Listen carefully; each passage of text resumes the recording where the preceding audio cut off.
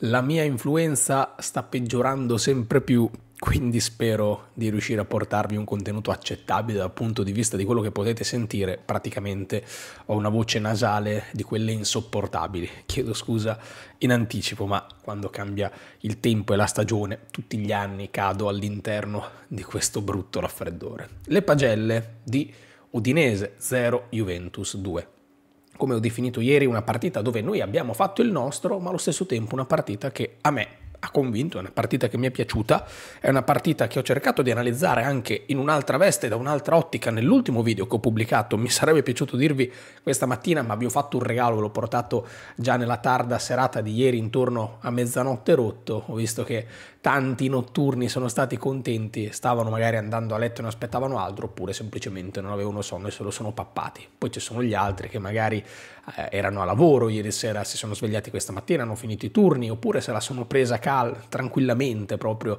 come una classica domenica, e se lo sono gustati questa mattina. Ma a me la Juventus è piaciuta, torno a dire, è stata una partita secondo me convincente per la Juve, una partita dove la Juve ha fatto assolutamente il suo, dove la Juve è riuscita ad andare in vantaggio nel primo tempo per 2 gol a 0. Nel secondo tempo mi sarebbe piaciuto vedere qualche gol in più, ma la Juventus ha raggiunto una maturità tale da riuscire a gestire la partita. Ho portato un'analisi che parla di Cobb Mainers, proprio inerente a questa roba qui, proprio nell'ultimo video, ma andremo ad approfondire il discorso Cobb Mainers anche all'interno di queste pagelle. Di Gregorio 6,5, un paio di parate veramente importanti, di quelle che hanno tenuto a galla la Juventus. Mi è piaciuta vedere questa risposta di Di Gregorio. Se posso, non mi è sembrato super sicuro nelle uscite, ne parlavo anche ieri in live su Twitch quando abbiamo guardato la partita. E poi una provocazione. Ieri Tiago Motta per la prima volta non ha schierato eh, Perin prima di una partita di Champions, cosa che invece aveva fatto nelle precedenti tre. Sarà Perin il titolare di Champions? perché mi viene a pensare questa cosa qui.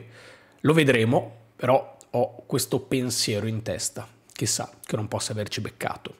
Savona 7, perché credo che sia stato uno dei migliori in campo per un motivo. Quel gol lì è troppo importante. Chiudere la partita in quel modo già nel primo tempo è troppo importante. Oltre in realtà una buona disponibilità del ragazzo in fase di spinta, in fase di impostazione, in fase di sovrapposizione, con Gue ha formato una buona catena di destra, si sono mossi molto bene, sembravano eh, voler cercare di prendere in velocità, in profondità, per cercare di, di, rubare quello spazio agli avversari. Quindi mi sono piaciuti tutti e due su quella corsia lì, però quel gol che fa Savona è un gol troppo importante, un gol anche strano da vedere per un ragazzo che gioca in difesa e che è alla sua, boh, credo, ottava partecipazione con la Juventus in Serie A, perché lui la va a piazzare, ha una grande intelligenza nel cercare la giocata da biliardo. 9 volte su 10 arrivi lì, arriva un difensore a rimorchio, da dietro, con il suo piede debole, che cosa fa? Mette tutta la potenza del mondo e cerca di chiuderla per evitare una ripartenza. Sora invece è andato a calciare, a concludere con una delicatezza veramente molto importante qualità che non trovi così facilmente all'interno di un ragazzo che non ha confidenza con la competizione perché fino all'anno scorso giocava due categorie sotto, che sa benissimo quanto è pesante la maglia della Juventus, che arriva in corsa in una porzione di campo non sua, non di sua appartenenza con il piede debole. È un gol importantissimo, tant'è che è stato eh, poi valutato come MVP della Serie A. Non sono d'accordissimo perché per me il giocatore che ha fatto vedere di più in campo è stato Turam, ma è condivisibilissimo volerlo dare comunque a Savona perché è stato autore di una super prestazione. Veramente bravo, bravo, bravo. Ieri sera gli ho scritto su Instagram, gli ho detto ma ti rendi conto? Lui mi ha risposto no, faccio ancora un po' fatica a crederci.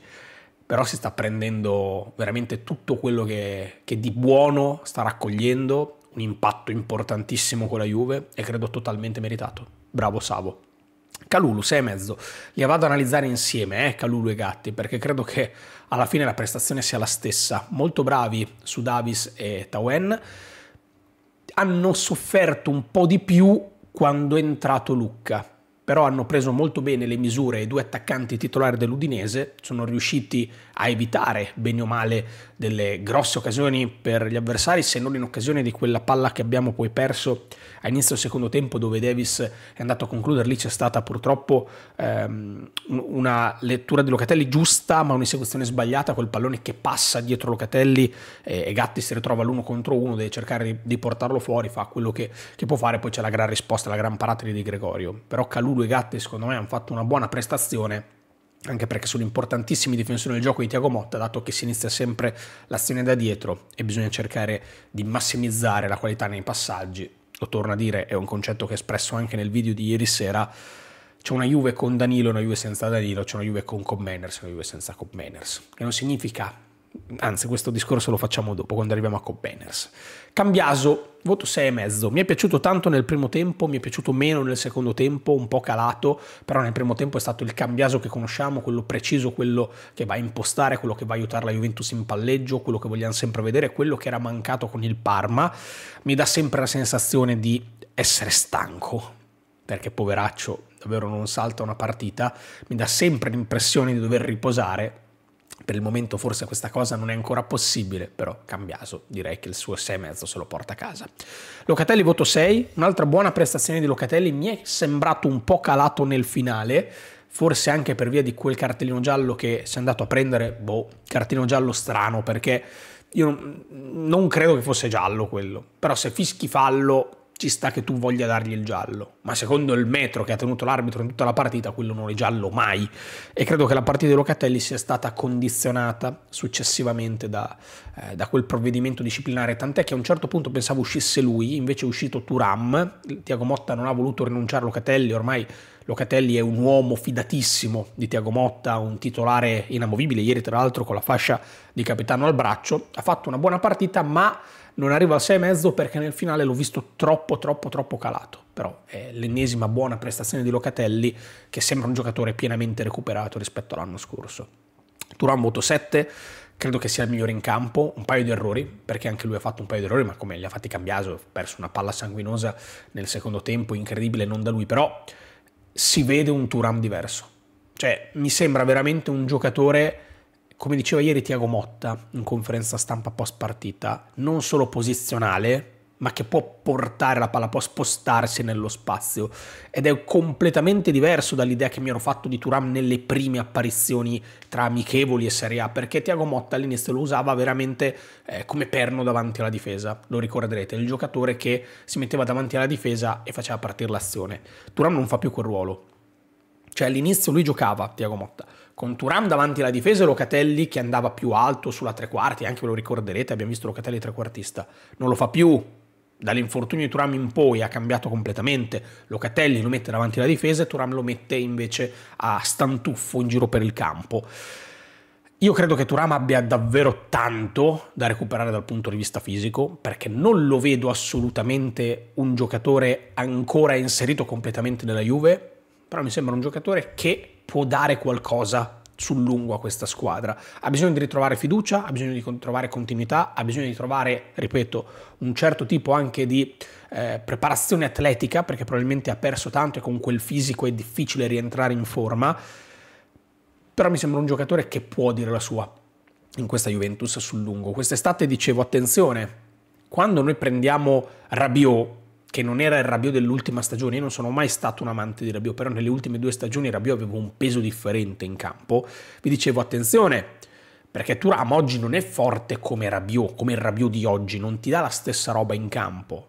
Quindi non è che dai via Rabiot, prendi Turam, ci hai guadagnato, lo fai sul lungo. E questo è il concetto ancora che voglio esprimere, perché secondo me questo ragazzo del potenziale ce l'ha dentro di sé, nascosto da qualche parte, ma più che nascosto ripeto, siccome non è ancora riuscito a tirarlo fuori per via di una condizione atletica spezzettata, fa la preparazione, si fa male, sta fermo, ritorna, gioca un po' sì, un po' no.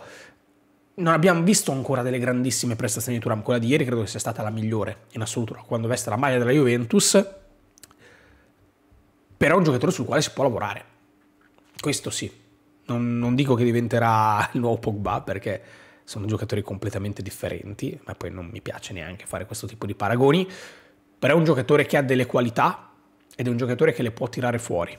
e quindi sono contento che ieri abbia fatto una buona partita, tant'è che secondo me è stato il giocatore migliore in campo, sia per la Juve che per l'Udinese, in generale l'MVP della partita.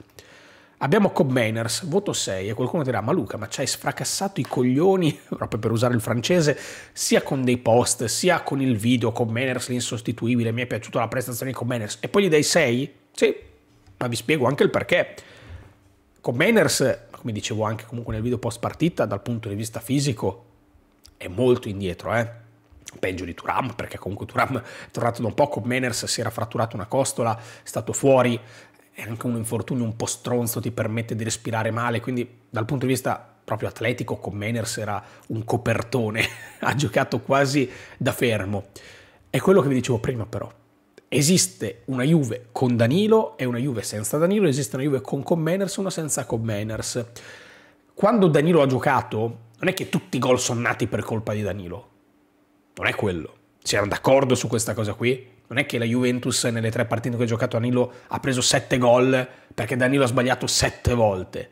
Ci sono state delle volte in cui ha sbagliato Calulu, delle volte in cui ha sbagliato Gatti, delle volte in cui ha sbagliato quegli altri. È successo, cioè ce lo ricordiamo, no? Però Danilo era lì, e dal punto di vista della presenza andava a modificare quello che era l'impostazione da dietro la Juventus, la solidità difensiva della Juventus, gli automatismi della Juventus, anche la condizione psicologica della Juventus, perché Danilo è un giocatore che comunque si lamenta tanto in campo, è fatto così, quindi c'è anche caso che i compagni da quel punto di vista possano avere qualcosina in meno, però è la presenza del giocatore che cambia il modo di giocare della squadra. La stessa cosa la possiamo dire per Cobb Manners non ha toccato tanti palloni, non è entrato tanto dentro le azioni determinanti, ha sbagliato un gol clamoroso, sono tutte cose verissime. Ma quanto è stata diversa la Juventus davanti con Cobb Manners rispetto alle partite che abbiamo citato in precedenza nel video di ieri sera, che sono state la Lazio, lo Stoccarda, l'Inter e il Parma. Cioè è ovvio che come non può sbagliare sempre Danilo all'interno del gol, ma influenza la squadra, non può fare tutto con Manners, ma influenza la squadra. L'equilibrio che ti dà la presenza di Cobbanners in campo e di questo Cobbanners che fisicamente, ripeto, è a terra, è un copertone bucato, ma quanto equilibrio ti ha dato la Juventus? La Juve quanto è riuscita ad andare a pressare meglio, quanto è riuscita ad andare a riaggredire meglio, quanto è riuscita a cambiare lato con più frequenza, quanto è riuscita ad avere più qualità nel palleggio, più fluidità nel palleggio. E non significa che passi sempre a Cobb Mainers, ma significa che influenza il modo di giocare della squadra. Questo è quanto. Quindi la prestazione di Cobb Mainers per me è da 6, forse anche 6,5, ma forse 6,5 sarebbe esagerato, sono d'accordo con voi ma il fatto che Comeners sia un giocatore insostituibile, fondamentale, forse il più importante davanti per la Juve, questo è un dato di fatto e lo fa soltanto mettendosi in campo perché ha delle qualità, delle caratteristiche che non sempre puoi osservare semplicemente guardando il giocatore. Devi guardare osservando il complesso della squadra, la, la coralità della squadra. E questo lo fa. Questa è la mia valutazione su Cobb non la partita migliore del mondo per Cobb. Anzi, ripeto, ho sbagliato un gol che deve fare, assolutamente, l'ha ciccata male, l'ha colpita male, deve fare degli assist, certo deve fare di più, 60 milioni, certo, sono tanti soldi, deve tirare fuori il suo, ma non venitemi a dire che è un flop. Questa è l'integrazione a quello che ho letto nei commenti, visto che tante persone non sono state d'accordo con me, ma questo è il motivo per cui vi dico Cobb Manners fondamentale, la partita di Cobb Manners ha cambiato la Juventus e l'ha fatto in una partita in cui fisicamente era a terra. Quando questo ritroverà la condizione, secondo me sarà un giocatore fenomenale, di quelli che veramente andremo a stropicciarci gli occhi per avere in campo. Miei due centesimi, mia scommessa, ma credo di non sbagliarmi di tanto. Bravo Teun. UEA 6,5. Mi è piaciuto, soprattutto in combinazione con Savona, lì sulla fascia destra. È un UEA sicuramente ritrovato quello che stiamo vedendo oggi, poi traslocato anche a sinistra per permettere a Ildis di andare a fare il falso 9, una buona partita di Timothy anche oggi. La conferma dopo due partite in cui addirittura andava in gol. Ildis 6,5, non la partita migliore del mondo, ma quanti, eh, come possiamo dire, quanti eh, non mi viene il, il, termine, guizzi, ecco, guizzi, mi veniva Frissi, ma Fabrizio Frissi non c'entra niente. Quanti guizzi di Ildis da un momento all'altro, veramente dei lampi, dal, così, prendeva palla e andava. C'è stata soprattutto quell'azione in cui insieme a Vlaovic sono poi andati su EA, la palla si è alzata, arriva Vlaovic in corsa, lì Ildis ha fatto vedere il repertorio di Ildis. Da falso 9 è medio e mi dispiace perché era un pezzo che volevo vedere Ildis in quella posizione lì, soprattutto perché non riusciamo a tenere sulla palla. Vero che arrivavamo in un contesto, era un momento di gara in cui l'Udinese era sotto di due, quindi doveva cercare di venire avanti e quindi era normale che l'inerzia potesse essere a favore degli avversari e quindi in quel momento devi cercare di tenere sulla palla, ma non è facile, indubbiamente. Però mi è sembrato un po' troppo leggerino nel, nel possesso palla, soprattutto quando eravamo a cercarlo dopo eh, un break eh, rispetto a un'azione dell'Udinese. Quindi secondo me lo può fare nel gioco di Tiago Motta quel ruolo, ma deve migliorare sicuramente perché è stato uno spezzone di gara che non mi è piaciuto. Per il resto credo che sia stata una buona prestazione di Ildis, da 6,5. Vlaovic voto 6, sicuramente il giocatore meno appariscente della Juve, pochi palloni giocabili, pochissimi palloni giocabili, però tanta disposizione, si è messo tanto a disposizione della squadra e questo quando un attaccante non ha dei palloni giocabili è quello che deve fare.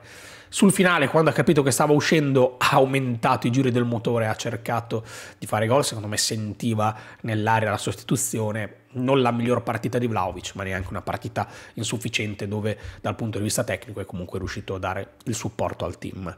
McKenny, subentrato, voto 6, niente da dire, così come con Sensao, un paio di ripartenze insieme a Ildiz, anche una sul finale dove Ildiz era stremato, però paio di giocate interessanti eh, tra Ildiz e Sao, tra Ildiz che faceva l'attaccante e Sao l'esterno, si sono cercati, hanno parlato un po' la stessa lingua Peccato che Ildiz era veramente distrutto in quel frangente, però con Sessa ha avuto un buon impatto sulla gara. Per il resto Cabal da senza voto, così come eh, Danilo da senza voto, hanno giocato veramente una decina di minuti più recupero, troppo poco per valutarli. Una buona chiusura in realtà di Danilo nel finale, mi pare di testa, e poi Bangula che è subentrato, anche lui pochissimi istanti, senza voto anche se aveva servito un ottimo assist a Cobb Mainers e poi è lì che Cobb è andato a smasticarsi quel pallone e l'ha buttato eh, praticamente in bocca agli avversari. Queste erano le mie pagelle, fatemi sapere se siete d'accordo con me, ancora una volta vi chiedo scusa per questa voce nasale, ho fatto 17 minuti in apnea, ora interrompo il video e vado a soffiarmi il naso che non ce la faccio più. Ciao a tutti ragazzi.